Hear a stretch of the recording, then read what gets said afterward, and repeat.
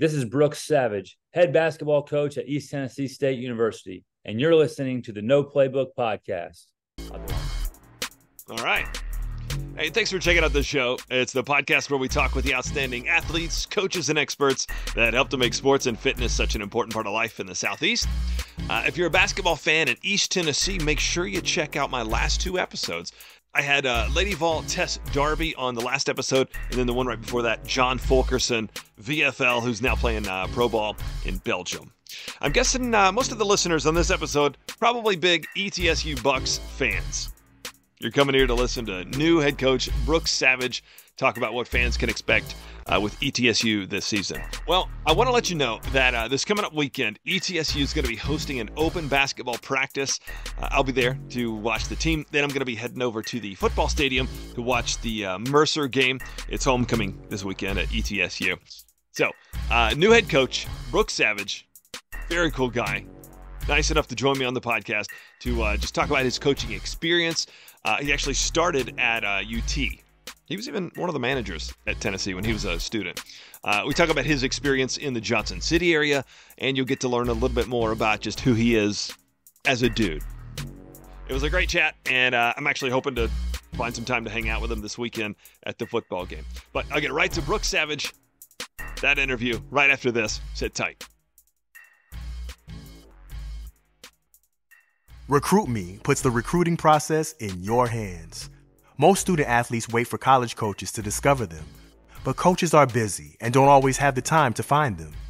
RecruitMe allows you to build an online profile to share directly with college coaches and is designed to help you enter all of the information coaches want to see your stats, your highlight videos, your academic information, your social links, and more. Plus, our team is here to make sure that your profile stands out with personalized suggestions.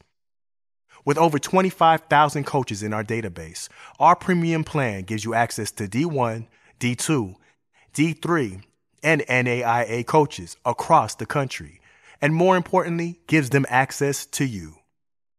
Enter your schedule of games and tournaments to let coaches know when and where you're playing so they can come out and watch you shine. Then communicate with interested coaches via our chat feature. When it comes to recruiting, don't make coaches research you. Do the work for them. Get started today at the Recruit Me app, on the web, and in the app stores. At D1 Training, what we do is in our name. Our D1 athletes become D1 athletes. Whether it's Los Angeles Angels pitcher Ben Joyce, high school soccer national MVP Brinley Murphy, or first round NFL draft pick Cole Strange, we help all athletes reach their full potential. Five star training system comes straight from D1 strength and conditioning programs, and D1 has trained over 2,000 professional athletes. Many of them started as young as seven years old. Check out D1Training.com to learn more about their facilities in Hardin Valley and Sevierville, and coming very soon to Maryville and the Tri Cities. I'm going to be honest, and I wonder if you have heard this uh, a couple times to different people. I've said uh, they've asked who, who have you got on the who are you going to interview today, and I've accidentally called you Ben Savage a couple times. um,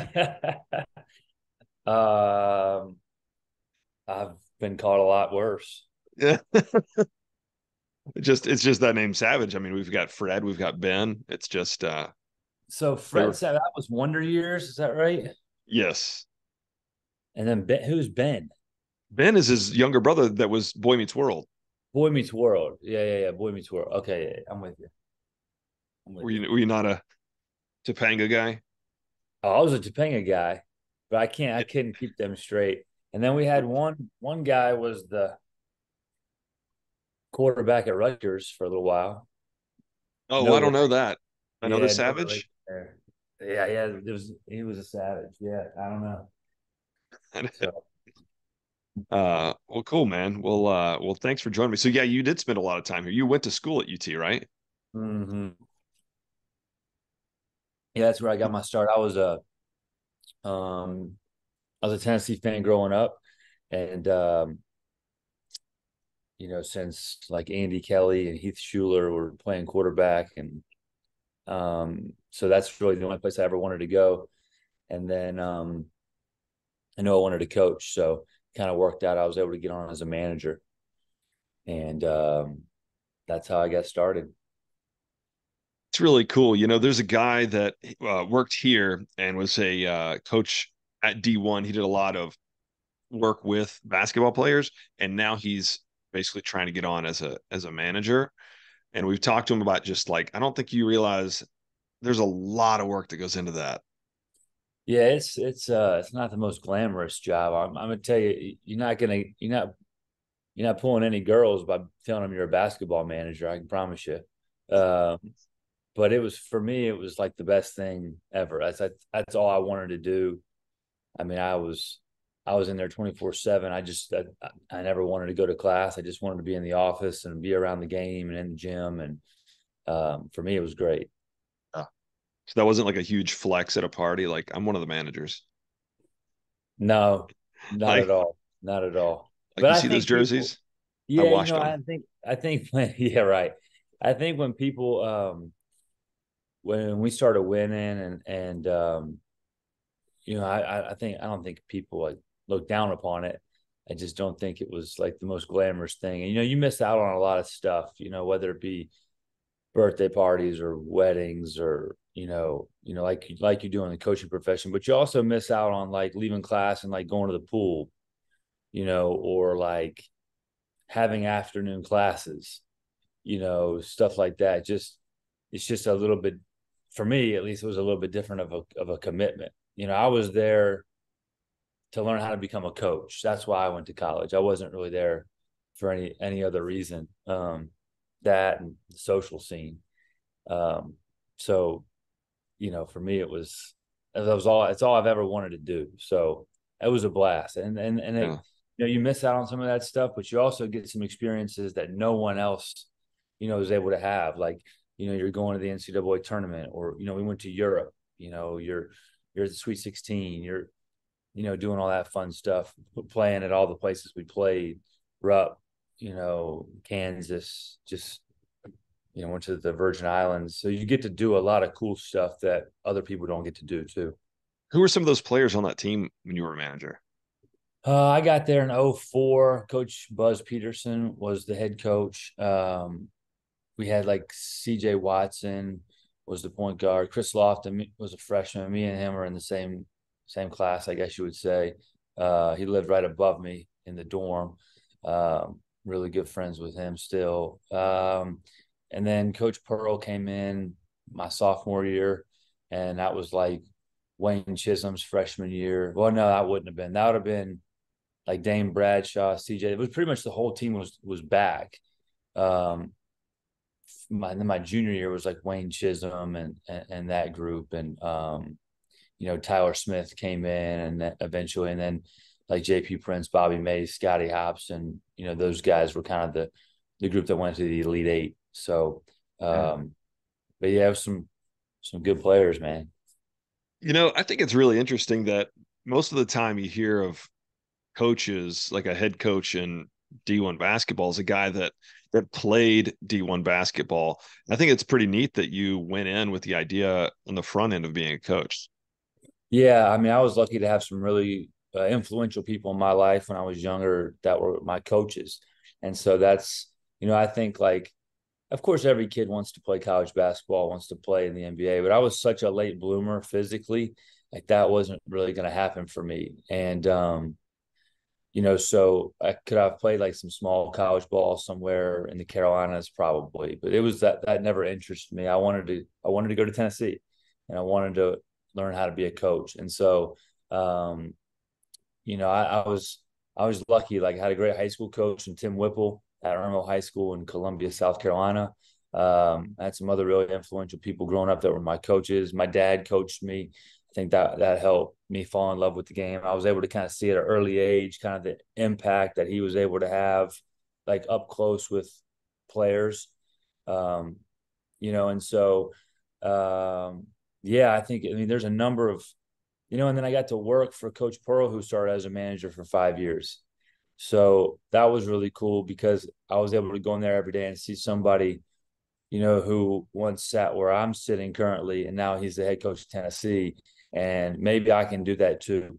And, you know, I think our managers think that it's now it's you get held to a different standard because he did all the stuff he's asking you to do. And I think our managers and young guys are kind of figuring that out a little bit here. Um, but you know, you look around, there's a number of great coaches that weren't great players, and I think that um, you know, you just you get a head start because while they're playing and then they go on to play professionally, most likely, like that's a that's a great experience, and that's you know, there's been guys that have, that have taken that path that are really successful too. But like I was, I was so much further ahead when it came to coaching and doing, knowing how to do the job, scouting report, how to recruit, how to, you know, just do the million different tasks in the office. So, um, yeah, it was it was a great experience. But uh, you know, you can take there's a lot of different paths. It's kind of the one from one profession that I can think of that doesn't have like a natural career progression. Like if it was if there was one way to do it, we'd all be doing that. But it's unique in that way. So um, you know, it's pretty cool that you can kind of get where you want to go. A lot of different different different avenues. Absolutely. Well, now you're it's your first season as a head coach. How uh, how are you approaching things differently than even in your past many seasons as an assistant? Uh, it's just it's different. You know, I think you feel um, look, the job's the job. Like any you know, any high level assistant coach, I'm not I'm not talking about high major, I'm just talking about any assistant coach that's really good. They know how to do the job. Like they know how to, you know, kind of the day to day things that go on in the program. I think I think that's what really helps me is that I have a pretty good. I mean, I've worked every job. I started as a manager, been a GA, a video Dobo, assistant coach at low major, mid major, high major, JUCO. Like I've kind of got a pretty good 360 degree view of what this should look like and how this is run at different so um you know but it's um it's uh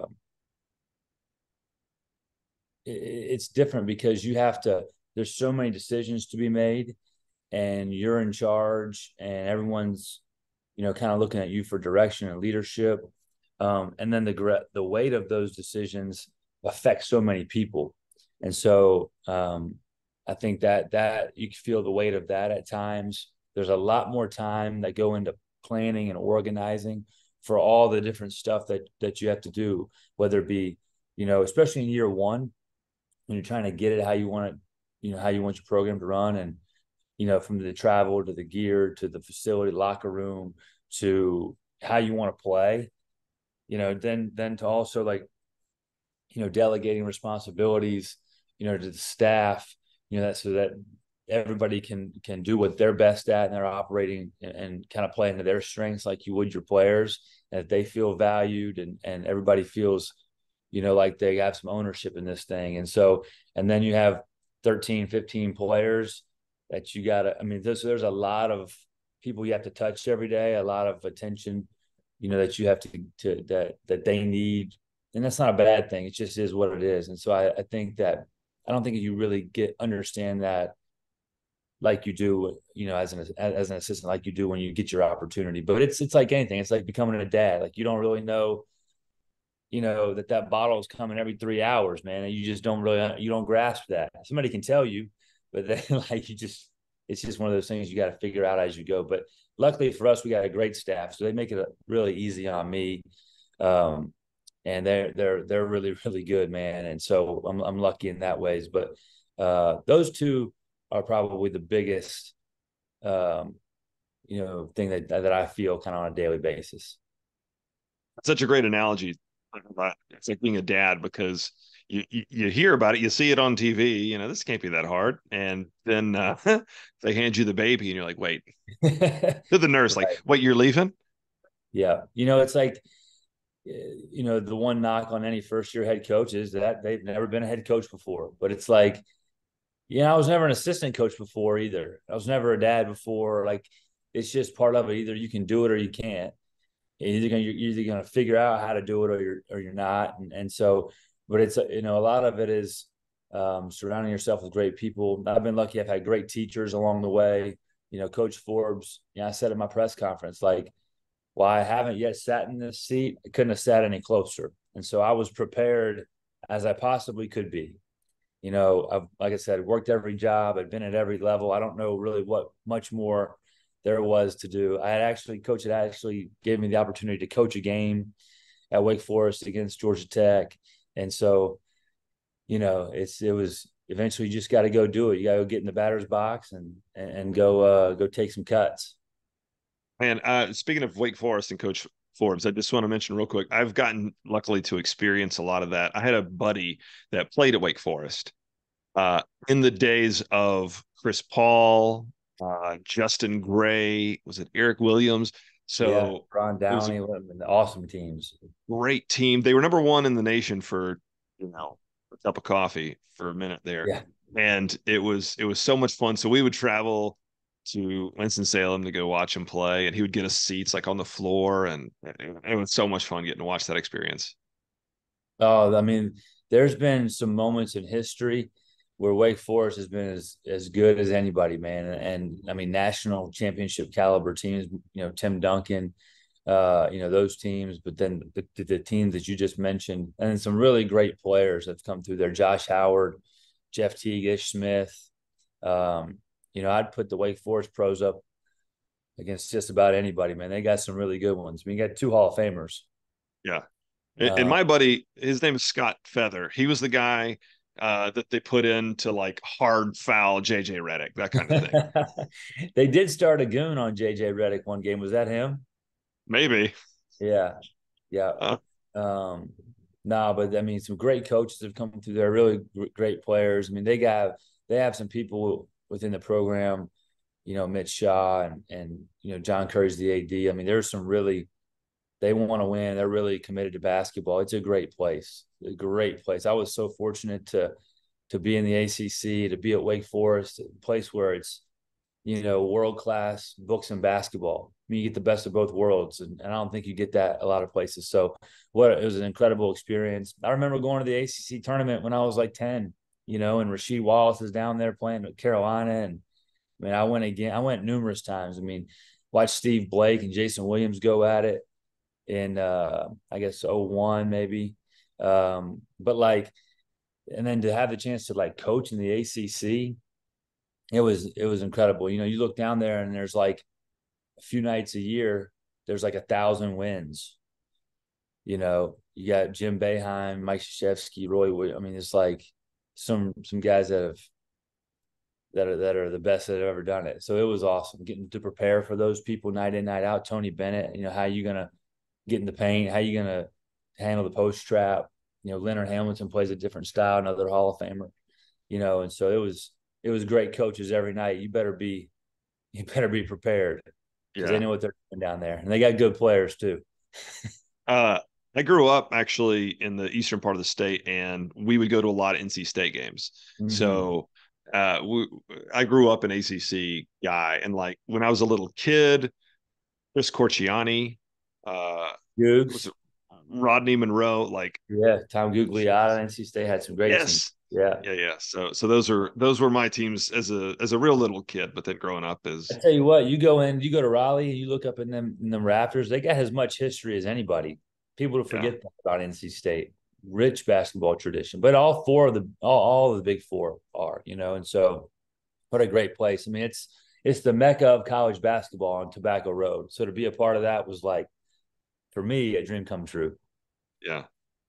You know, I was just talking with my owner actually about ETSU. We we're looking over this uh, to be corporate sponsors um, okay. pretty soon, and we were just kind of talking about what that experience is like at Freedom Hall. Oh man, we hear great things. Yeah, Freedom Hall. I mean, pound for pound is one of the best basketball atmospheres in the country. I mean, these people here they love ETSU and everything you know, we had three hour rain delay at the football game. Mm. I mean, incredible crowd three hours later after the rain, you know, and they, but they love basketball. They've got, we've got great basketball tradition here. I mean, we've had some moments in Freedom Hall where it's, you know, people are touching the roof and it'll make the hair on your arm stand up. It is electric. It's loud. You know, it's got that false ceiling like the pit, you know, out of New Mexico, and so it, it gets really loud in there, and then and it's you know, and then it's pretty steep on the sides, and so you can they can really get on top of you and uh, make it hard for an opponent to to hear or execute or you know the, the crowd definitely you know plays a part in the game but we have tremendous fan support we've led the the league in attendance i mean forever um you know, they they led the league in attendance again last year. You know, they love basketball. You, I mean, we tell you know our guys in recruiting, and I mean, this is the we're the main event. Like we're like the Lakers in town. I mean, they love hoops. And um, you know, so we're excited to get going. But yeah, you got to come check out a game because it's a it's a great atmosphere, especially you know when we can get it back rocking and and uh, you know make it that that you know the toughest place to play in the league. Is that part of why uh, what brought you back? Because you obviously have been an assistant coach in Johnson City in the past, and now coming back as a head coach. I was just curious, what are those things that made you say, "I really got to take this opportunity"? Yeah, I mean it's a great community. I got two little girls, me and my wife, and so it's a great place to live, great place to raise a family. The, I mean, it's it's this is what you want, you know, in terms of community, and so um, really good schools. So you know, from that standpoint, it was a plus. But yeah, there's just great people here. Like I said, they love. We're not in the shadow of anybody else. Like we're not like this isn't a pro city. We don't have another major college you know, right here. Like this is ETSU country. You you go around town, it's blue and gold. And um, you know, you got Virginia Tech a little to the north and Tennessee a little to the south, but right here in East Tennessee, this is ETSU. And so you want to coach at a place like that. It's got great tradition, great resources, great leadership, you know, from top down alignment from our president and our our our athletic director and everyone involved. Um, they want to win. There's high expectations. And so it's a great, rich basketball tradition league. Jerry West played in this league. Steph Curry played in this league. I mean, there's been a number of good players. We had eight players in the NBA Summer League from the Southern Conference. I mean, there's not. This is the a dream job, and there's nothing that you really don't have, and there's and there's nothing not to like. And so, um, the people in the community, just the the and to the level that you can win at um, here. You know, we did it last time, and so that's that's the goal. You know, I think a lot of times when you take a job, you have an idea of how you want to do things, and maybe there's been, you know, pockets of success before, um, you know, and so you have a blueprint of how you think it'll work. But here we lived it. You know, Isaiah Tisdale is on our staff. Joe Hugley is on our staff. They played here on the 30 win team in 2020, so they know what that looks like. They know what that takes. They and they they're aware of the expectation you know, here at ETSU, and that's to play on Monday night in Asheville. That's to go to the NCAA tournament, and we're not running from that, you know. And that's but that's what you want. That's where you want to be. If that don't get you fired up, I can't help you. You know what I mean? So it's a great place, um, you know, and, and I think um, if we can just keep building on what we got so far, you know, we can get it back to to the to the level at which they're accustomed to it being here over the last 50 years. Now, with that kind of community support, I would think that NIL could be something that could be uh, successful for a business. I've done a whole lot of work with NIL here in Knoxville, some in Chattanooga, but those are with like Tennessee Vols. Right. Sure. Uh, you know, but but I would imagine that a place like ETSU with that kind of community, kind of like you said, like you're the Lakers in town. So these athletes, they're they're spending all their time preparing for their craft for their sport so i would love to to find some ways to work with them and uh, get some opportunities. Have you gotten to work even at wake forest much with the nil world? You know what? No. Unfortunately. Uh you know we, it was going to wake forest you know it was it was challenging you know to getting off the ground because we got there it was covid we got there in May, like May 1st. And so, you know, the first year was tough. You know, we, we got shut down 30 days, like a lot of people, whatever. You know, the second year we were able to win 25 games. And then last year we had a, a nice team and a good year. But, you know, the changing landscape with the transfer portal and how that, you know, is going to look at Wake Forest, where it's a little bit different. You know, here at ETSU, it's a lot more user friendly. Um, but at Wake, you know, you, there's some challenges with transfer credits, which they've, you know, they've they've they've worked with athletics to try and make that make that better. And then, um, you know, and then you have NIL, and so what was that going to look like, you know, at Wake Forest? So we, you know, we were getting that together, and and they have a great setup now. Um, but those first couple years, you know, we didn't really have it, and so now coming to ETSU, we're kind of in the same position as we were. I was as I was the last couple years at Wake, and, and figuring out what we're, you know, how competitive we're going to be in the space and what it's going to look like. And and listen, there is, we we've got a good thing going here. Um, we got some people in the community that, like I said, that love basketball, love our players, and want to help them, you know, be successful. And so, I think it's something that we can that we can grow and, and build on.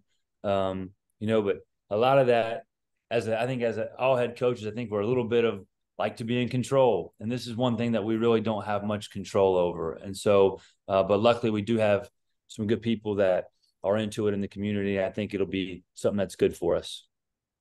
Yeah, I I actually go speak to a class at UT once a semester uh, to help the athletes understand kind of what is expected of them, and just the main thing is helping them learn what an ROI is and like these businesses that's what they want and that's what they need. So but still with with you being the the main gun in town and everybody says like this is a basketball school. Um so I uh I would imagine there's certainly going to be some opportunities for those kids. Yeah I think there will be. Like I said it's uh you know you got some some people that really love ETSU and and the, it's just the basketball tradition here is so good. You know we're we're it sounds cliche. Coach Pearl says it all the time at Auburn. We're in everything school, but ETSU, I mean, it is. The last time we were here, football was winning the Southern Conference and, and playing in the playoffs. We have an incredible golf program. They've been to the NCAA tournament three straight times. Volleyball picked to win the league. Women's basketball is incredible. On tennis is one like every year. For you know, we got we got. I mean, we're good at at a lot of stuff, and so and they they love it here. But so I think you know, this community really rallies around ETSU. So I think that it'll be, you know, advantageous for our student athletes for sure. Yeah. So, coach, one thing I like to in the headspace of is the 14 year old inside all of us. Uh, and that's something personally with me. Every week, I try to do something that I think would impress 14 year old Casey. So, 14 year old Brooks, would he, um, what would you think of your career and what would what advice would you give to that same kid now that might think you know i want to i want to be a D1 basketball coach but physically i'm not prepared i'm not going to be a player yeah uh it's such a great question and and i'm like a little bit of a romantic when it comes to stuff like that because this has been a childhood dream for me. Um you know i i can remember being in my room when i'm eight years old you know playing on the nerf hoop by myself and I, you know, I always, you know, I loved college basketball from from forever, but I love the coaches. Like I can remember going and watching Nolan Richardson's teams at Arkansas or or Rick Pitino at Kentucky or, you know, who, who, you name it. You know, Roy Williams was at Kansas. I have I still in my room at home at my parents' house. There's a Kansas poster on the wall with Kirk Hinrich and Nick Collison. Like I loved Billy Donovan was at Florida. I mean, you know, whoever. So, um, so I have always wanted to do this. I always dreamed of, of doing this. And so, um, you know, I think it's, I'm, I'm lucky that I get to live a passion, right? Not a lot of people get to, to go to work every day and do something that they love. And so 14 year old self would, I don't, I don't know. I think he'd kind of be like, damn dude, you, you did it. You know, like, I think he, he would be proud. Um, you know, because it's not it's not been an, e- an easy road. Like, you know, there's, you know, it's been step by step. I don't think I've been able to to really skip any steps, um, and I'm thankful for that because I think that it's made me the most prepared that I could be. We'll, you know, you know, we'll see how successful I, you know, I am at this or or I'm not. You know, how much we can win, and we'll see. You know, um, we got, like I said, we got good players and a great staff, and we'll work our tail off. But um, yeah, I just think that that um, you know, I think it can be an inspiration to other people. I think when my girls look at their dad, you know, they'll they'll be able to, you know, to see that if you can put your mind to it and you're willing to to work for it, that you can, you know, dreams come true. And so that's really the you know, I think that what I'll take away from it is that hopefully it'll help somebody else, you know, believe in in their dream. Yeah. Uh, real quick, I'm just curious because I remembered that you mentioned that you grew up in Columbia. Mm-hmm. All right. So why were you a Tennessee fan? What brought you to um, UT? Yeah, my dad.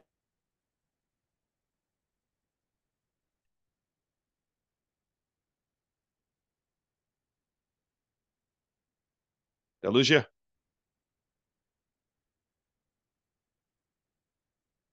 And my dad went there and and um, fell in love with the place, and then would you know would would take me there in the fall for football games. You know, there's actually a picture in the Knoxville News Sentinel. You can find it online if you don't. I don't think you have to really look that hard. About every year, they they do like a like a history of photos for UT Florida games, and there's like a picture like from the Knoxville News Sentinel. Like I have my face painted, like at the game. I'm like 10 years old. So, you know, it was uh it was just kind of um something that we Do you know which did. one that was? Uh I think it was the one where we got just crushed in the rain. I want to say Peyton Manning was the quarterback. I think he threw the interception to like uh, the George kid for Florida. He ran it back for a touchdown. I don't know, 96, maybe. Mm something like that. We're actually recording this on Florida Week, so yeah. Um, I actually I met my, my wife at a party, a viewing party, for in '98 uh, when Tennessee beat Florida. Oh, for real? So I, I met my wife at that at one of those. I mean, we were both in high school, but yeah, that was that's a fun no, the no siree game. Yep. Um, sorry. So uh, one last question I ask everybody: Share with me one great sports memory for you, be it as a player, coach, or even as a spectator? Yeah, I mean, there's been a lot as I've been in college basketball. You know, beating Ohio State to go to the Sweet 16 was awesome when I was in school. Um, you know, some of the games like when we won the SEC down at Florida, that was really cool. Uh, you know, playing the national championship in JUCO. There's been a no, you know, getting to coach the game. Coach Forbes actually got thrown out the first year, and I had to, I got to coach the second half against Coach K. Now, um, we got we were getting crushed, but it was that was kind of cool. There's been some moments like that. I would say outside of basketball, um, me and my dad went to the being an Orioles fan. I'm actually going on Thursday to the Rays Orioles game in, in Baltimore, but um, we were at Cal Ripken's 2130 and 2131. So that was really Whoa. cool. Yeah, like that's not that's one that's not ever getting broken. Um, got his autograph and that sort of thing, and so that was probably like peak sports moment for me. Heck yeah. That's great, man.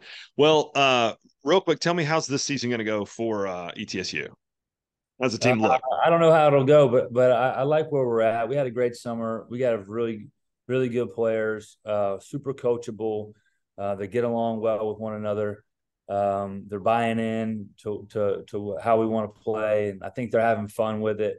Um, they're fun to coach. I know that. I've had some teams where you kind of dread going to practice some days, but this group's been been good. They're hardworking, coachable. We're just trying to get it. You know, we want to be the hardest playing, best conditioned, most connected, toughest team. That's what we're trying to work towards being every day. And if we can do that, I think we'll have some success. Um, you know, like I said, staff's working hard, spending a lot of time with them because it is a largely new team. We're going to have 11 new players. Like we're trying to build those relationships quickly. But, you know, everybody's new though. Even the returning players, all the coaches, all the players are new. The returning guys have been awesome. Um, you know, that were here last year. They got a lot of like blood, sweat, and tears in this program. And uh, you know, so, you know, we're just trying to, to to get this thing back to where it's been so many times in history. And uh, I think that they they're they're I like this group. They have a little bit of a an edge to them. There's a little bit of chip on their shoulder. It's quiet. It's not like it's not a lot of false bravado and and stuff like that. But there's a de- quiet determination about this group, I think. And so, um, I like I like where we're at. We got a lot of work to do, but I, today on September the 11th. Um, I like where we're at. Right. Well, ETSU head coach Brooks Savage, thank you so much. Best of luck this season, man. Thanks, Casey. Appreciate you having me. Sure thing.